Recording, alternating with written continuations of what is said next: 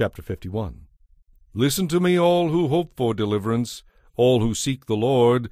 Consider the quarry from which you were mined, the rock from which you were cut. Yes, think about your ancestors Abraham and Sarah, from whom you came. Abraham was alone when I called him, but when I blessed him he became a great nation. The Lord will comfort Israel again, and make her deserts blossom. Her barren wilderness will become as beautiful as Eden, the garden of the Lord. Joy and gladness will be found there.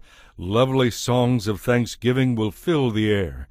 Listen to me, my people, hear me, Israel, for my law will be proclaimed, and my justice will become a light to the nations.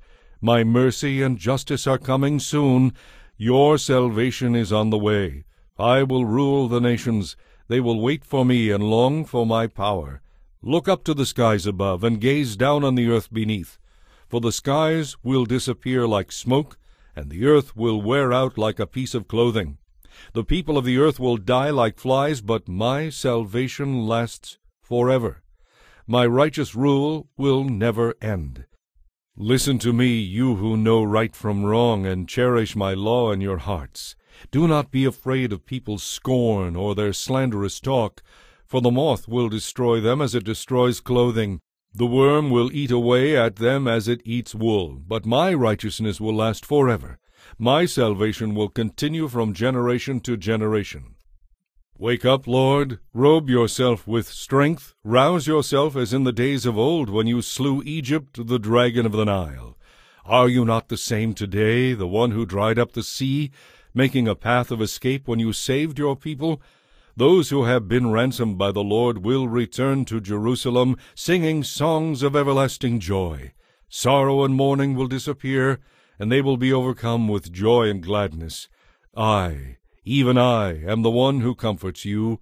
So why are you afraid of mere humans who wither like the grass and disappear? Yet you have forgotten the Lord your Creator, the one who put the stars in the sky and established the earth. Will you remain in constant dread of human oppression? Will you continue to fear the anger of your enemies from morning till night? Soon all you captives will be released. Imprisonment, starvation, and death will not be your fate. For I am the Lord your God, who stirs up the sea, causing its waves to roar.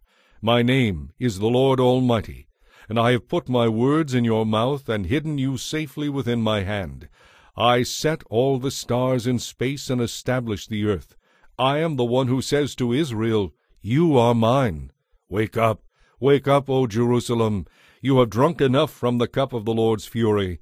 You have drunk the cup of terror, tipping out its last drops. Not one of your children is left alive to help you or tell you what to do. These two things have been your lot desolation and destruction, famine and war.